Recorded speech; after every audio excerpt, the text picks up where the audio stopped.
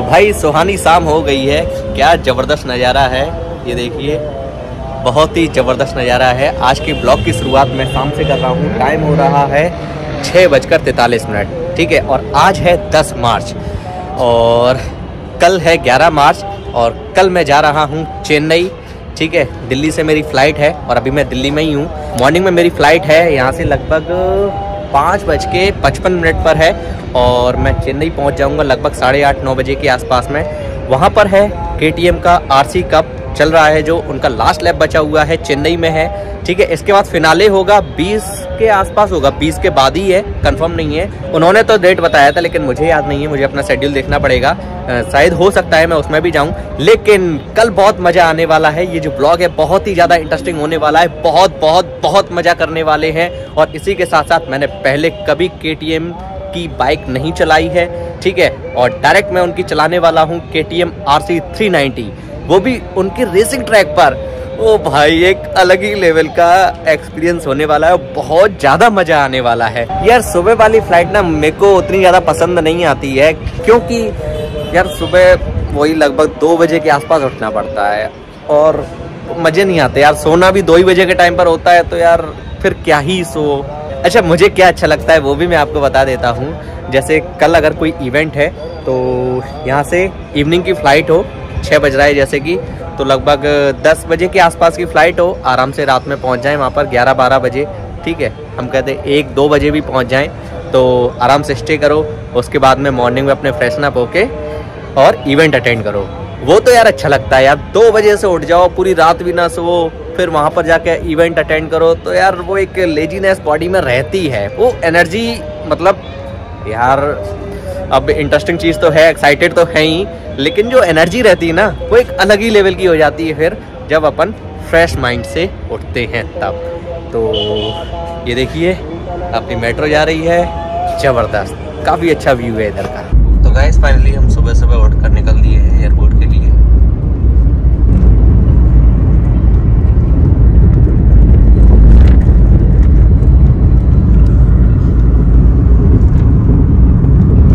तो ऑलमोस्ट हम पहुँच गए हैं टर्मिनल थ्री तो गाइस फाइनली मैं terminal three gate number two से एंट्री लूँगा, ठीक है? और मैं बोर्डिंग पासेस भी ले लिए हैं। अभी मैं एंट्री ले रहा हूँ सेवन ए से।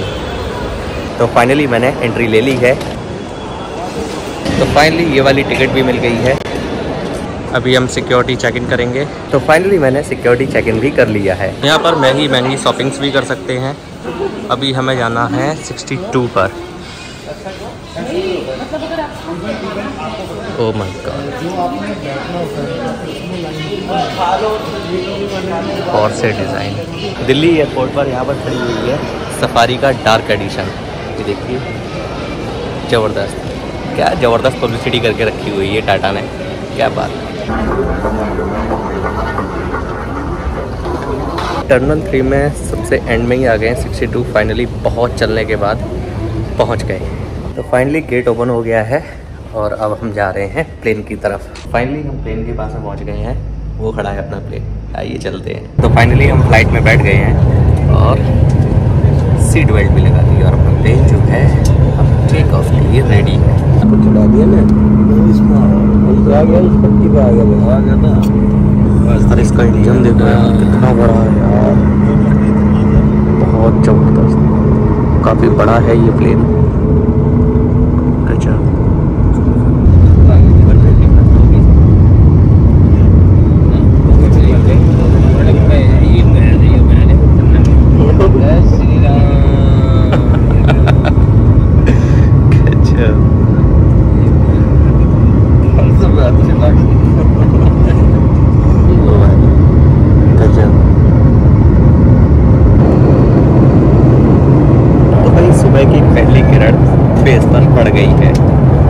ब्रेक टेक कर लिए हैं।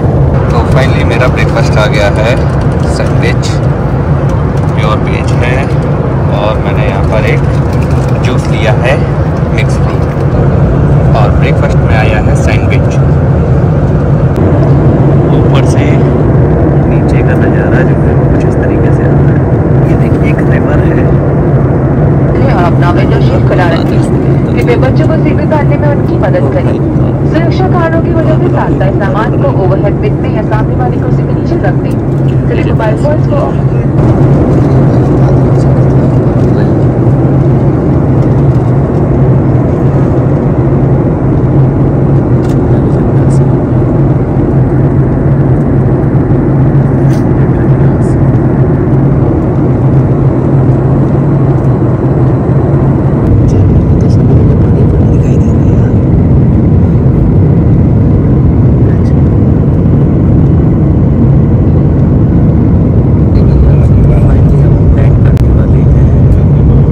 चेन्नई में काफ़ी ज़बरदस्त है चेन्नई का कल्चर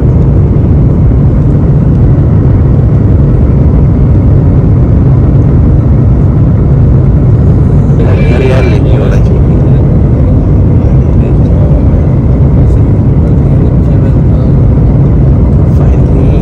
फाइनली हम लैंड कर गए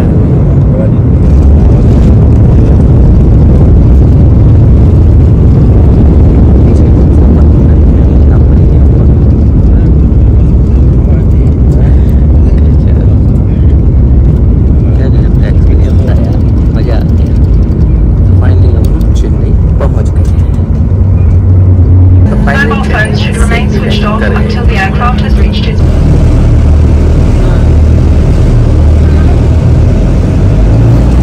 बहुत सारे एयरक्राफ्ट लगे हुए हैं ट्रैवल कर रहे हैं भाई स्पाइस जेट का भी एक्सपीरियंस काफ़ी ठीक रहा। फाइनली मैं यहाँ पर पहुँच गया हूँ और मीडिया पासेस भी मिल गए हैं, ठीक है?